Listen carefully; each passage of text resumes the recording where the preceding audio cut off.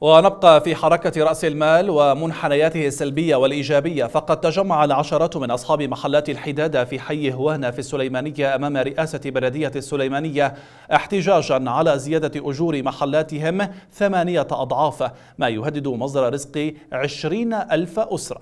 وقال أسو علي ممثل المحتجين إن ألفي صاحب محل من المهن المختلفة يعانون منذ ثلاثة أعوام من مشكلة زيادة أجور المحلات إذ وصل سعر المتر الواحد أربعة ألاف دينار بدلا من 500 قبل سنوات تحدث عن وصول معاناة الحدادين إلى رئيس الاتحاد بافل طالباني لكن المشكلة ظلت تراوح مكانها. في إشارة إلى ارتفاع أسعار الإيجارات 800% رغم أن حركة السوق لا تتلائم مع هذا الارتفاع وهذه الرسوم.